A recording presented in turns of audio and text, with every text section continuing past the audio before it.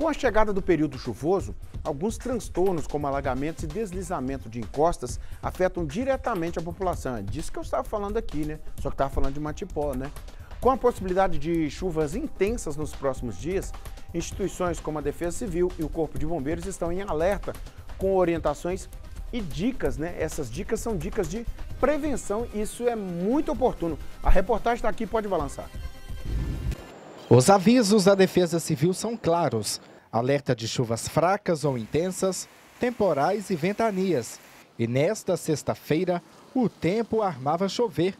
Mas é preciso que a população não baixe a guarda para eventuais ocorrências. É o que alerta esse sargento do Corpo de Bombeiros. Primeira situação é com questão de encostas, né? Os taludes aí, eles podem ter um movimento ali do solo e é muito perigoso. Então a gente tem que estar tá fazendo esse monitoramento, a pessoa observar árvore, poste, né? às vezes uma trinca numa casa que não existia, que passou a existir. Então isso tudo são sinais que, que o solo está dando ali, que ele está movimentando. Então é importante a pessoa fazer o acionamento via 93, ou até mesmo a Defesa Civil, para estar tá fazendo um acompanhamento mais de, de perto.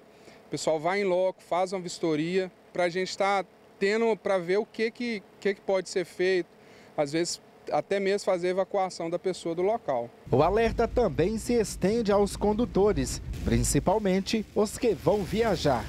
Chuva muito forte, chuva intensa, é melhor que você não passe por essa chuva. Você está vendo que tem uma previsão de uma chuva muito forte. Então é melhor você adiar um pouco a, a sua viagem, né? Que as estradas nossas a gente sabe que tem buracos e, e com a chuva ainda se torna mais perigoso ainda. Então é melhor evitar, é melhor prevenir do que remediar. Neste período de chuvas, é comum que o nível do Rio Doce suba. Para que a população acompanhe a situação do volume das águas, foi criado um aplicativo. O aplicativo é o Alerta Rio Doce, ele pode ser adquirido nas lojas né, na, na, de aplicativos.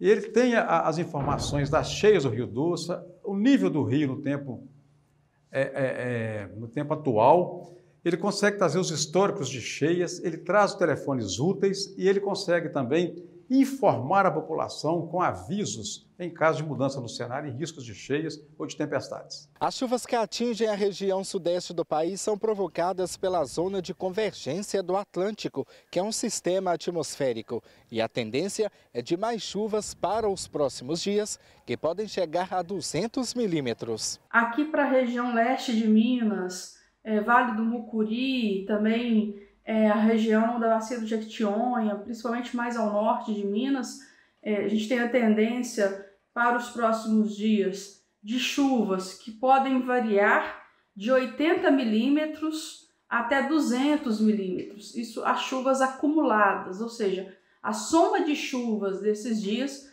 pode chegar a esse montante. Algumas regiões chovendo mais, outras regiões chovendo menos mas é importante destacar que, no geral, né, é, a gente vai observar que há uma tendência da continuidade, aí, pelo menos para os próximos 3, 4 dias, dessas chuvas né, na maior parte dessas regiões aí de Minas Gerais. É, e todo cuidado é pouco, né? A orientação vem para a gente tomar aqueles cuidados, né? Não, não, submeter aí a situação de risco, né? A chuva é bênção, eu sempre falo isso, mas o problema é que a gente tem uma série de questões relacionadas à infraestrutura nas cidades, né? Que acabam gerando todo esse transtorno. E sem contar o maltrato que a gente vem aí causando e, e lidando com ele, né? Em relação à natureza já há um bom tempo, né? A natureza está respondendo, né? É.